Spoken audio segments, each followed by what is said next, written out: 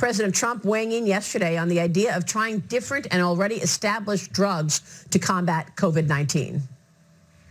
We don't have time to go and say, gee, let's take a couple of years and test it out. And let's go and test with the test tubes and the laboratories. We don't have time. I'd love to do that.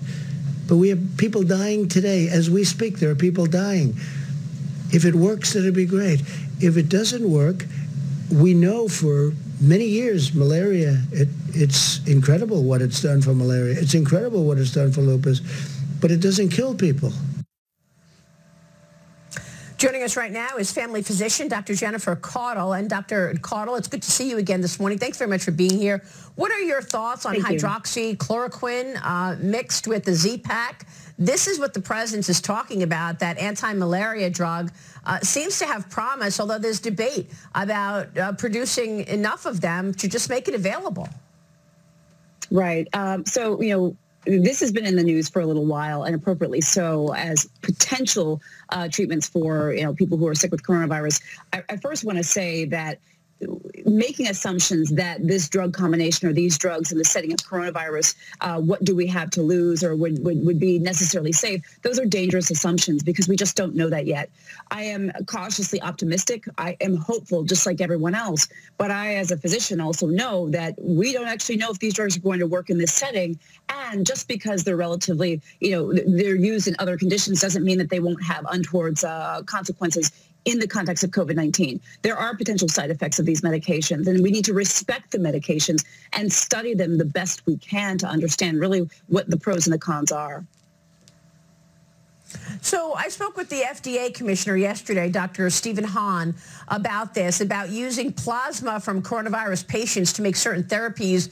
He's, of course, working on a vaccine at the FDA, but even more important over the near term are these therapies potentially uh, a bridge to a vaccine. Watch what he said about this. Love to get your reaction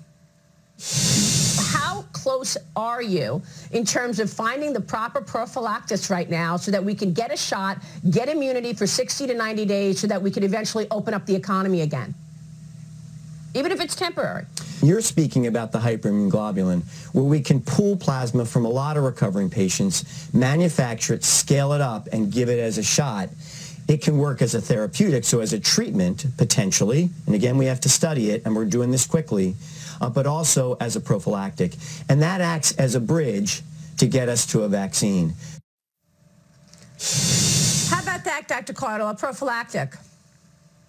So what we're talking about is the concept of convalescent plasma. This is, as he described, the idea of taking, you know, plasma from people who have recovered from the condition, and that plasma likely will have their antibodies or their protection we could then give it to other people who don't have the same protection and it might help them fight off coronavirus. That is a concept and a technique that we've used in the past with other conditions uh, over the years. Uh, I think that it's a very promising uh, concept. It's a promising idea. As he mentioned, we do need to study it, but I think that it's a, I, I think it's a definitely an option that we need to be considering, and I think we are.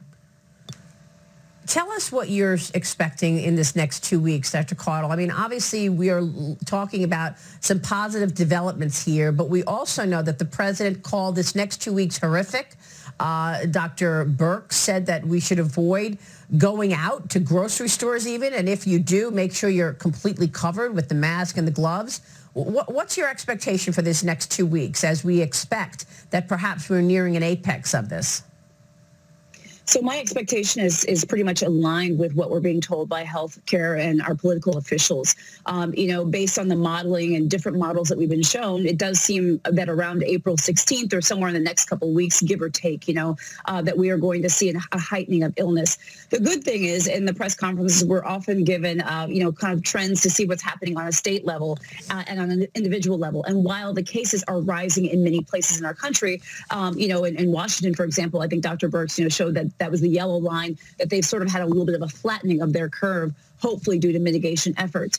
So my point being is, yeah, I do expect that it's going to get worse, just like it seems everyone else is. I do agree with Dr. Birx and, and what the guidance that they're giving us, which is that at this point, you know, this mitigation is the best we, it, it's, it's really everything right now. That means the social distancing. That means not going anywhere that you really, really, really don't have to go, like the grocery store or um, to get uh, prescriptions from the pharmacy, uh, to wear masks. That is a new recommendation by the CDC that I agree with. This idea of wearing cloth masks to potentially uh, curb asymptomatic spread. So, you know, yes, I agree with all of this stuff, and I think that we need to be heeding it and doing exactly what they're saying. All right, we will leave it there. Dr. Jennifer Caudle, good to see you this morning. Thanks very much.